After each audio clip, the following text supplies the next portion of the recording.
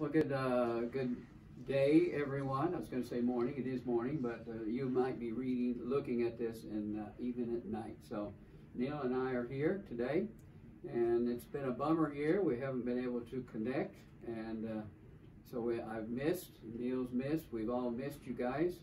But uh, we would like to take this time to. Looks like we're going we're going to try our best to have uh, at least some of these camps. Hopefully, all of them. And so Neil and I would like to just uh, go over these, these camps. It's going to be a little different this year. And that's the reason why we want to kind of help you uh, identify which camps you're eligible for and what you can do. Our first camp is uh, interesting, is our beach camp, okay? Whereas before it used to be GI, but now it's going to be different. And Neil, you want to explain a little bit on that one? Yeah, so our beach camp this year is going to be open to any teenager ages 16 to 18, and they can have any diagnosis. So any of our chronic and life-threatening illnesses, um, any teenager 16 to 18 is going to be eligible for beach camp this year. And that'll be in Pensacola Beach, Florida. And we need to have those uh, registrations in by the end of March. Right, we? yeah. Because we're going to have to fly on an airplane down there this year, okay? You want to explain by the end of March? Yep. So registration will open March 1st, so go ahead and start getting registered next week. And I'll need all the beach camp campers to be registered by the end of March so I can get our names to the airlines so we can get our tickets. Yeah, remember 16, and no matter what you got, if you're 16 and above, you're eligible for this camp. Yep. All right, now our next camp is uh, we kind of switch things around this year. Our next camp is what we call, or Neil's called a connection camp, and it is for our hearts and cancer. Okay? You want to explain that one? Yeah, so our connection series, uh, we're going to start off with the heart and cancer kids, and that will be June 24th through 27th at Sky Ranch Cave Springs, which is up in northeast Oklahoma. So that's a Thursday through Sunday, and any teenager aged 13 to 18 who has a heart or cancer diagnosis will be eligible for that one. Now that's going to be two camps in one. So our, we'll be doing a lot of things together, but then there will be breakout sessions for our heart people and a breakout session for the cancer. So you still get the individual camp experience of uh, young people going through the same thing, plus a mixture there. And uh, we actually, uh, we can do more things. It'll be about 40 kids, is that right? Yep. So, all right. So again, uh, these things are going to be open for registration next week? Yep, March okay. 1st we'll open up registration.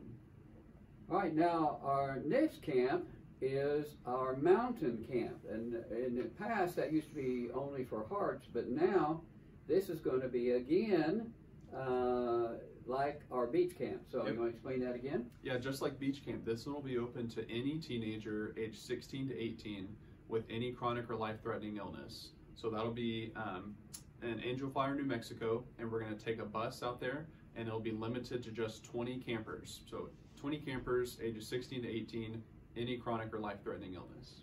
All right. The interesting thing, two things. Uh, if you go to the beach camp, you can't go to the mountain camp this year. You can switch. So you have to make a decision if you're age 16 and above in between the beach camp or the mountain camp. Right. Also, in a mountain camp, uh, we will also be going down, we will be floating down the Rio Grande River, which is always a big thing. And we will be going over to Red River and doing some shopping and messing around there. Also, uh, on that camp, we have four wheeling, don't we? You still yep. going to have that? Yeah, I'm hoping we'll get to do some ATV rides around Bobcat Pass. Um, it's a it's a fun trip. And my wife says I go too fast on that four wheeler, so uh, so it's always it's always thrilling to hear her scream a lot. All right. Now, our next camp is another connection camp. Remember, our first one was heart and, uh, and cancer. This next connection camp is kidney. By the way, kidney camp, our kidney camp is the oldest kidney camp in the nation. 40, I lost count, 40, gee, 43 years now. Okay, kidney camp and GI. You want to explain that one? Yeah, so this camp, um, like Danny said, is our other connections camp. So kidney and GI patients ages 13 to 18 will be eligible for this camp. And it's going to take place here in Oklahoma City at a brand new campground called Camp Travera. It is right next to the zoo, and so they have a zip line that they will let us zip line over a pond, and then we'll get to go over to the zoo. So really cool place, brand new, um, really cool activities to do there, and it'll be here in Oklahoma City, so that our kidney patients will be able to run down to um, the, the dialysis unit if they need those treatments. Yeah, it'd be nice. Uh, from the camp, you zip over to the zoo, and you go over the little lake there, and uh, we got a lot of things planned for that camp. Also, besides, it's going to be deal, good deal. Now, our next camp is a big camp. Everyone knows about Camp Cavett, all right? Yeah, so Camp Cavett is going to be at the end of the summer again this year, and those dates are August 4th through 8th. And we'll be back, going back to New Life Ranch Frontier Cove, which is the same location we used in 2019.